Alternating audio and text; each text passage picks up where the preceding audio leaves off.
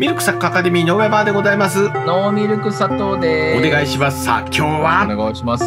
アビスパ福岡編でございます。お願いいたします戦術モックアップ。はい、短い時間で先生がね、新シーズンの戦術メンバーについて語っていただけますということで、今日は福岡編ということで、えっ、と、はいリギットえーロブースト。これあれですよね。ねあのー子羊の似たやつみたいな意味ですかこれ。違うんですか？ローストとかロブスター料理じゃなくてってと。ことですね。はい、これをよ、堅固性とか堅牢性とかってことをちょっと表しているような言葉になります。それだけで、なるほどなるほど守備家庭ぞこ家のチームってことですね。なるほど、はいそう言ってくれればいいのに、こんなかっこ、確かにかっこいいよ、でも。かっこよくいきたいじゃない、やっぱり。かっこいいですね。はい、ということで今日のはい、テーマ見ていきましょう。ましょう。資料1枚でございます。どんこちら。はい。はい、えー、うんアビスパ福岡のこの表の見方なんですけれども、えー左側がね、えー2021年のベースとなるフォーメーションかなっていうところと、はいここのポジション四基本に皆さんやるんじゃないかなってのを中心に書いてみました。で真ん中はまあ戦術的なもの、ここの部分を、えーこれから我々で言葉で喋っていきたいと思います。はいで右側はこれから喋る内容に紐づくちょっと図解みたいなものなので、これはまた後から説明したいと思います。はい。はい、ではまず2021年のベースの左側の図を見ていきましょう。お願いします。うん。福岡はね、去年昇格を果たして、はい。ただその昇格の原動力ともなっていたゴールキーパーのセランテスさんがいなくなって、もう。うん激震でした。J2 全体もそうだし、うんアビスパ福岡としても、うん。ちょっとちょっと守護神を J1 に連れて行かないきなんて、クロちゃんだ、クロちゃん。はい。ね。ありましたが、あの、ただね、えー福岡、堅牢性は良かったんだけど、ちょっと得点力が少なかったってのもあるのうんで、あとボランチがやや人数がね、ちょっと足りなかったのもあるから、はい。あの、セランテスさんをちょっと出してでも、うんえーまあ、サイドバックの七選手、そしてセンターバックの奈良選手、はい並びにえーボランチの川上選手、なるほどね。そういうやりくりではい熱く、熱くしたんだね。はい、そのあたりを、はいはいはいまあ、いろいろ据えてきたという形になりましたと。はい。でそれぞれポジションをいろいろ見ていけば、うん。まあ、ゴールキーパーはもう本当、皆さん横一線かなと思ってて、まあは村上選手、長石選手、杉山選手、山上選手、まあ、誰になるのかなって、これはもう本当、開幕戦になるまでちょっと分かんないんじゃないかうこれなうでもいい競争がね、生まれそうな感じね。ちょっと楽しみでございます。ははえそしてセンターバックが分厚すぎる。はい、はい。えードーグラス・グローリー、まあ、うん。去年もスタメンだったのでドーグラス・グローリーか、うんうんうん、あと本当は福岡の開幕、去年の開幕スタメンとか、うん。去年の開幕のね、えーだけじゃなくて、はい。主力の予定だったグティエレスさん、本当は去年ちょっとね、出たかったの怪我でね、えー途中ゴールになっちゃったのもあったんで、うん。えー今年こそって形になってますけれども、はい。えーそして、えー鹿島からやってきた、えー奈良さん、うん。えーそして鳥栖からやってきた宮さんということで、はいこの4人の誰でもそれこそスタメンで J1 で十二分にやっていけるメンバーなので、相当なメンバー揃ったなと。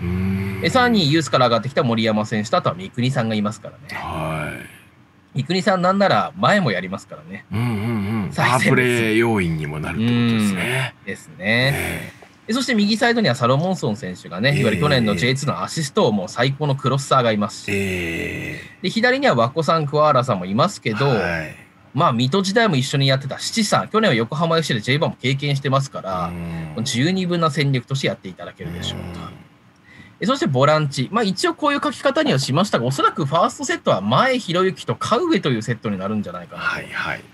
と思いますと。ええもう中盤を封鎖するシャッター役が前博之。はい。グワングはもうピッチ上すべてが自分の庭みたいな形で動き回ってくれるだろう、川上さん。そうですね。やってくれるでしょうはい。ね。えそして右にはアタッカー杉本、クルークス、吉岡、左には石津、北島といて、うん最前線にはメンデスえ、はい。ファンマン、山岸、渡り、そしてもうこのチームの顔ジョーゴさんがいると。いいよね。とてもいいですね。うん、ええそんなすごくいいチームだなと思っております。はい。そんな福岡、今年じゃあどんなサッカーするのかってことを、まあ、うんさっくりちょっと言葉で伝えていきたいなと思うんです J1 がに、どう挑んでいくかってことですよね。変えるのか変えないのかってことでしょ？そうですね、うんえー基本は変えないと思います。はい。去年と。で、ええその理由としてみれば、はい。えーチャレンジャーチームになるんですよね、アビスパ福岡は。そういうことですね。うん。はいなので、しかも今年は、あの、信じられないぐらい J リーグ史上とか世界にも稀に見る、うん。チャレンジというか、よくわかんない1年です。はい。はい。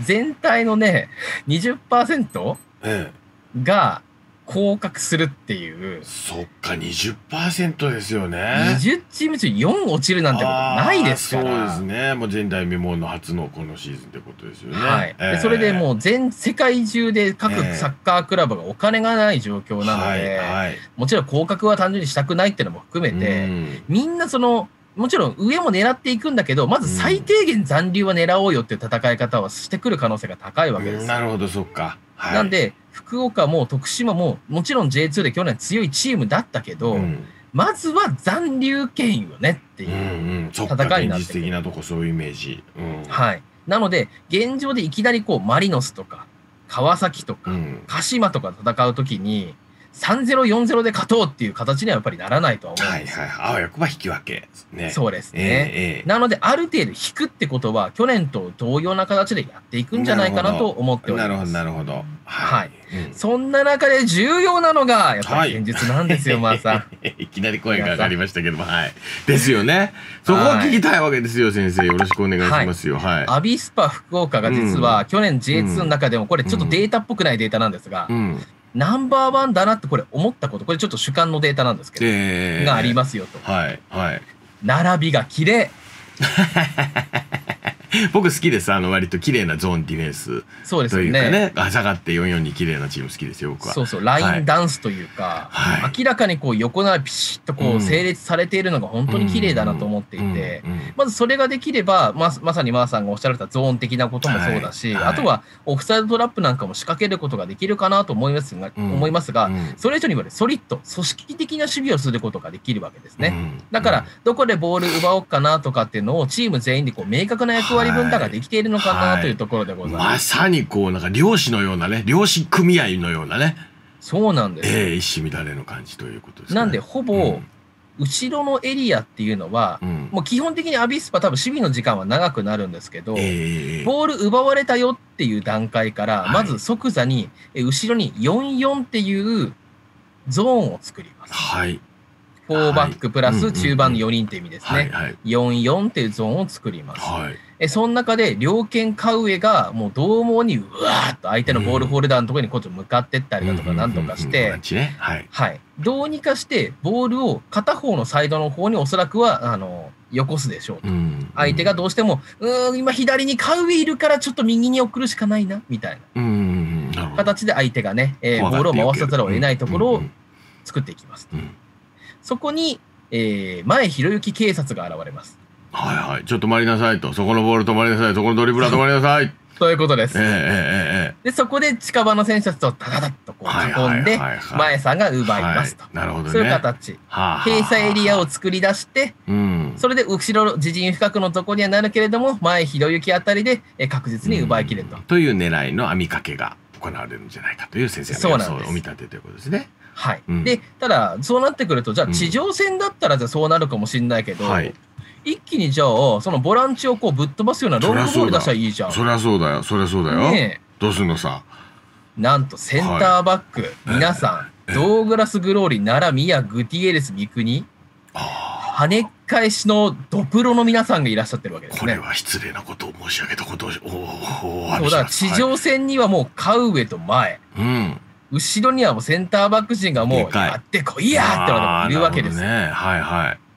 それで高さと地上ってところで確実に奪い切った後、あとはそこからロングカウンターです。なるほどね。うん。えで、え前線にはストライカー型プラス、やっぱり起点となれる選手が皆さん多かったりするのえで、はい。その方に向けて、えー奪い切った後のディフェンダーとかボランチの方がビーンってロングボール出して、はい、収めつつ。はい、で、落としてもらって、うんそこに、えースピードのあるテクニックもある、えー杉本太郎さんとかクルークスさんに去年の党の選手のような役割をやってもらって、スルスルンとディフェンスランに抜けてもらって、シュットなんて流れになってくれたらいいのかなってね思っております。あーもしくはね、まあさん、はいはい、面白そう。じゃあその杉本選手が。正直外しちゃうこともあると思シュート？う。うん。うん。でも誰にもありますからね。そうなんですよう。んライン出てくれればそれでもいいかなって。デうんィフェンダーに当たったり、うん。はい、ゴール、あの、ゴールキーパーに当たって。はいはいはい。で、コーナーキックになったら、うんうん。先ほどのあの屈強なセンターバック組うがわあ、そう上がってくるわけですか。出てきます。そして、フォワードたちも、メンデス、ファンマー、なるほどね。筆頭に、はい、空中戦強いい面々がいますのそで最低コーナーキック取れればワンチャン OK よ、みたいな感じがありますから。これは先生あれだいいですよね。もう絵に描いたような、えーごく基本的といいますか忠実なリトリートロングカウンターってことですね、うん。の戦いな方これを忠実にやってくるんじゃないかというのが今年のそうですね。2021アビスパということですね。だかなりそれサッカーをこれから見たいよって方にとっては、えーちょっと面白いんじゃないかな。ディフェンスの方からこう見てみたいような方にとっては、すごくお手本のようなサッカーになると思うので、ぜひ皆さんはピストン福岡のサッカーを見ていただければポ。ゼッションじゃない選択肢ってなるとまずここですもんね。そうですね。ええなるほど。まあ、あとは J2 に昇格してくる秋田も似た感じになると思いますけど、なるほど。はい、この2チームちょっと注目だなとわ思っております。。なるほど、わかります。それで、リギット、リジット、アンドロブ。これ、ロブスターのロブストじゃないのこれ？かもしれませんね殻にこもるみたいな、ねこのね。ねえカッチカッチやでって意味でしょ、ロブスターって。なるほどですですね。あ、海鮮が食べたくなってきましたね。あ、福岡に行きたいな。ねということでわかりました。ありがとうございました。ということで、今シーズンもね、えー楽しみでございました。ありがとうございました。ということで、ミルクサッカーアカデミー、いろんなチーム、いろんなテーマ、いろんなニュースなんかをね、毎日出させていただいております。ぜひ、チャンネル登録をお願いいたします。この動画が。いいねと思った方が、ぜひいらっしゃっていただきましたら、ポチッと、あと応援したいぞと思った方がいらっしゃいましたら、明日の糧になりますので、ポチッと。押してくださいね。ありがとうございます。はい。ということで、はい井上までございました？ノーミルク砂糖でした。先生、皆さん最後までありがとうございました。ありがとうございました。